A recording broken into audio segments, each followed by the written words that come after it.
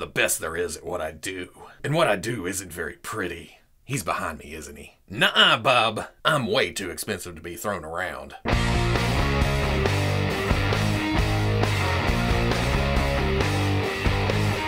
Son of a Okay, people, welcome back to another Fwoosh review. Today we're taking a look at the Medicom Mafex. What number is this? Is there a number? Oh, oh, 096 right there. Marvel X-Men comic book style Wolverine. And I've been waiting for this for a while. I love Mafex figures. I love X-Men. I love Wolverine. But unfortunately, I'm walking into this one a little bit biased. I'm already not looking forward to the arms here. But bright side of things, it's it's Wolverine. It's it's X-Men. It's we'll see. Looking at the package, it's your standard Mafex fare. They've taken the whole package and Wolverinized it. Wolverinized it? Something like that. It's like those older home improvement shows where they send the designer in and they find out the kid likes pirates. And then the kid comes in after it's all said and done and there's pirates freaking everywhere. Wolverine, Wolverine, Wolverine, Wolverine, Wolverine quote, Wolverine, Wolverine, X-Men, Wolverine blue, Wolverine yellow, Wolverine, Wolverine, X-Men, Wolverine, Wolverine, X-Men, Wolverine, Wolverine, Wolverine graphic in the background, Wolverine blue, Wolverine yellow, logo, logo, logo, logo, logo, snicked! Wolverine, X-Men, Wolverine, Wolverine in the background. On the bottom, you get your standard warnings, your unreadables, this hologram that knockoffs cannot knock off. I wonder what Wolverine's daydreaming about in there. Anyway, let's get this open, see what's going on here. There's the Mafex stand taped to the back like usual, and it's okay. Clear base, clear rod, clear clamp. I usually don't care for the Mafex stands. They just, I don't, seem kind of cheap. This one wants to tighten up though. Comes with this plastic sheet in the crotch area, I guess, to keep from rubbing the metallic blue onto the yellow or vice versa. I don't know. It's easier to pop the leg off though, pull that out. Because we see this in Figuarts, we see this with Mafex, and if you go tearing at it and stuff, you're just gonna end up with little plastic flakes inside. It's easier just to, that's an odd thing to say. It's easier to disassemble your figure to pull a little plastic piece out. But it is. Oh, getting it out of the package? It's, uh, okay. Let's just say Medicom's good about giving different people different QC issues, I guess. We'll definitely get into that here in a second. But proportion-wise, this is definitely Wolverine. In fact, I'm about to go out on a limb and say this is probably my new favorite Wolverine. He's muscled up, he's bulky, he's buff, but he's still a little bit squat. You can see in places that it's kind of compact, like Wolverine should be. The sculpt is definitely nice and tight. It, it's, it just brings across that comic art. And when you think of Wolverine, you think of animalistic, you think of hunched over a little bit, and they've replicated that really well. With this super overly muscled back that it seems like almost too much muscle, but at the same time, that's Wolverine. Same with the legs, you have all the muscles running down to the knee and through the boot, but where it needs to be smooth and a little less detailed, they've done a good job of that too. The belt always stood out to me as being very simple and very smooth, especially against the heavy detail of Wolverine. There you go, in 3D form. The blue is a little bit more metallic than I was hoping it would be, but after Spider-Man, we kind of knew what the deal was. We knew what we were going to get. But it's a nice contrast against the matte black and then the yellow. But there is a darker yellow to bring out the musculature. It's very faint and it's probably hard to pick up here in the camera, but in person, you can definitely see it. I'm thinking the tiger stripes on the torso should probably be black I, seem to remember like that, but at the same time, it ties into the shoulder pads, the gloves, the boots. But if you want to repaint it, it would be pretty easy because the lines for that is sculpted into the torso. The arm hair is exactly what you think of when you think of Wolverine in the comics, but because of how well done that is, I would have liked to seen some stubble on the face. I don't know if it's animated or comic book or something, but again, that's unmistakably Logan. Those are his eyes. Even though they're white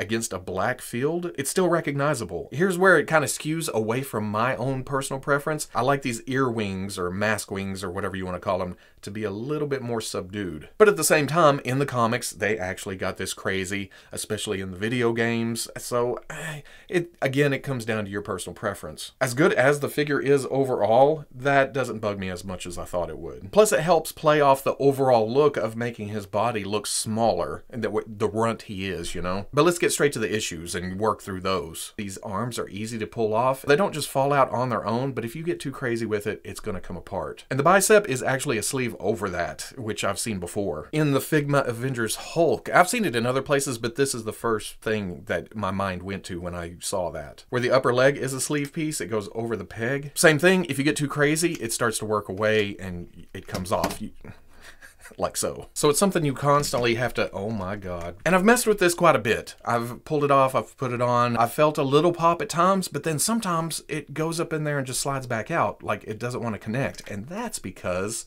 the shoulder piece is also separate. On one hand, I kind of feel like Medicom was at a comfortable place. They were giving us quality product that was super articulated, looked fantastic on the shelf. So them going experimenting with this kind of thing, I don't like it. It, it kind of throws me off. But at the same time, if it makes it easier to manufacture or something, and this is a work in progress, then I can't fault them, I guess. Plus, look at all the assembly to the shoulder. There's the butterfly, that's a cup inside there, then a ball inside that. So I don't know if this was necessary in order to get all the range of movement they wanted. I mean, that just slides back on, but that presents a problem of you're plugging into this hole right here. So if you don't get this all the way on, or if you pull the arm off and this slides down a little bit, you will have a problem getting it plugged in. So you have to make sure the shoulder is all the way on. And then you want to make sure this actually plugs in. There is a pop to it. See, it, it doesn't come off unless you actually physically pull it and you heard the pop. Because another problem presented in this setup is you go too far with the elbow and it works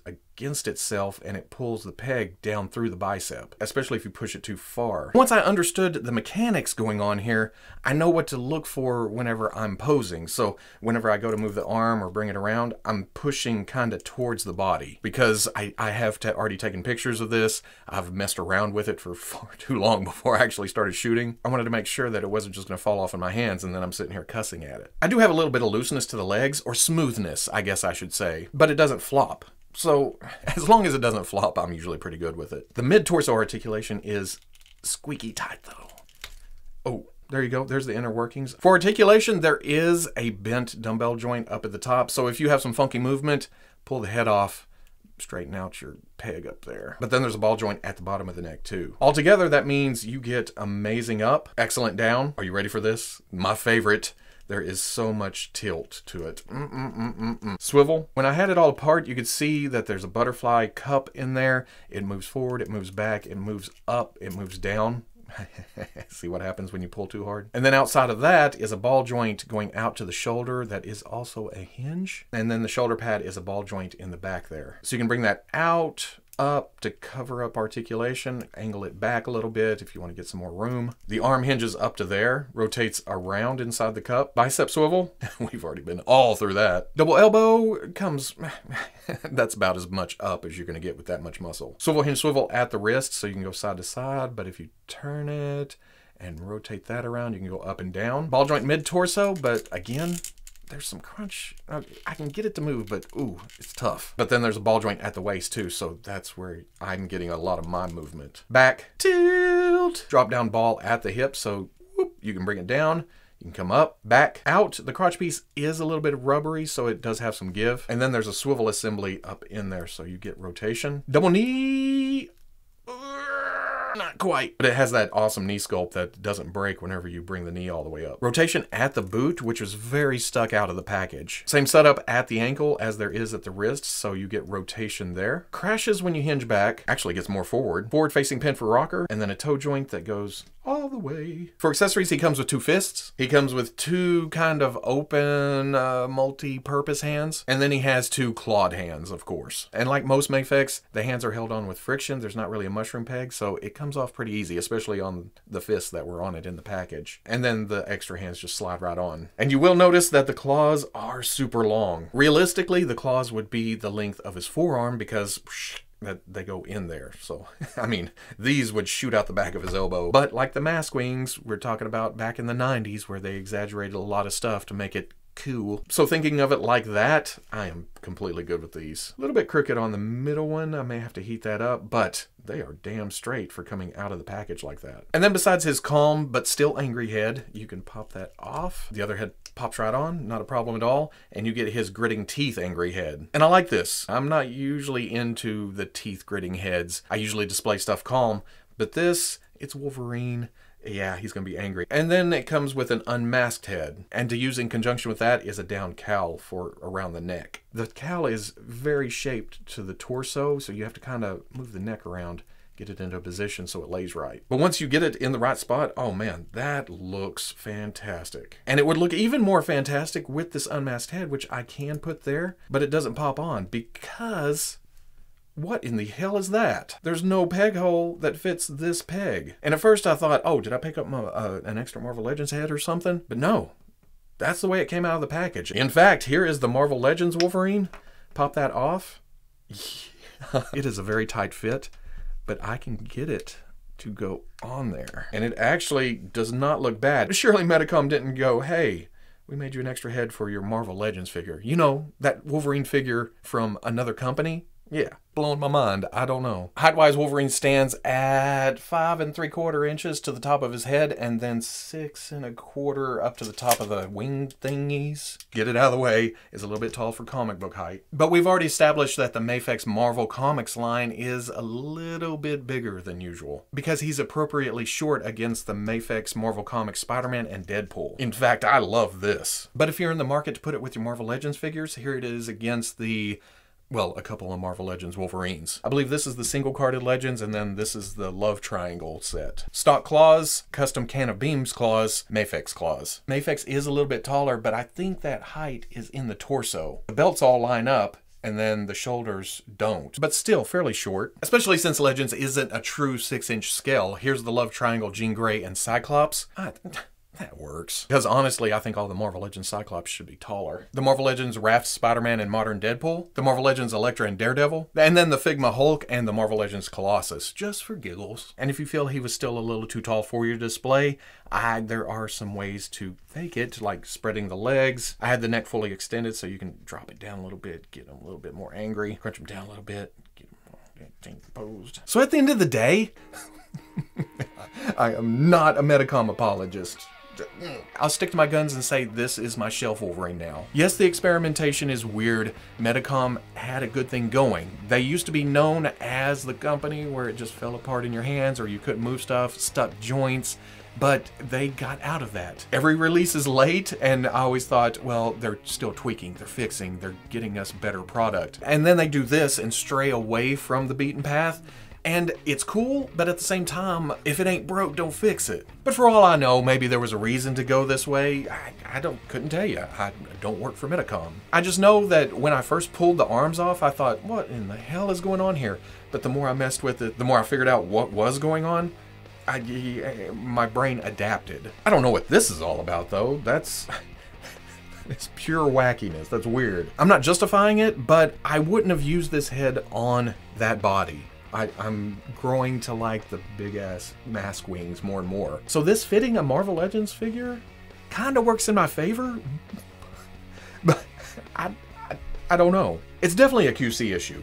This head should fit that body, but I can't be mad about it. No, I'm not grapping about that. I thought I was walking into a QC landmine and it, it wasn't near as bad as I thought it was. Because I've seen other people talking online too their legs were floppy, the torso's too tight, which mine does have, but I can work around it. I heard all kinds of stories, so I've been putting it off, but I am pleasantly surprised by this. Of course, for a $100 action figure, it shouldn't have any problems, but